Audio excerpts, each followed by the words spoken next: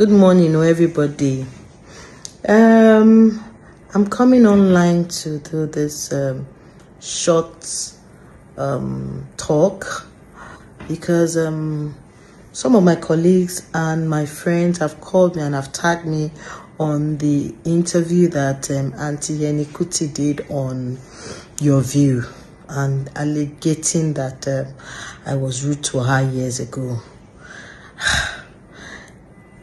First and foremost, um, I have to come online to do this because um, she made the allegation public. Though I've spoken with her privately and we have um, spoken about it, slugged it out, and I've apologized to her. But I still have to come and do this. Now, the being rude to people that are my mates is not in my character. Talk less of people that I am that that are older than me. And Auntie Emmy is someone that I hold in high esteem. She's an older colleague and Igimuji sorry. But um ó máa ń sọ wípé ẹni tó bá yàgbẹ́ òun ó máa ti gbàgbé. Àmọ́ ẹni tó and also wọ̀nyí lè bọ́ àgbà.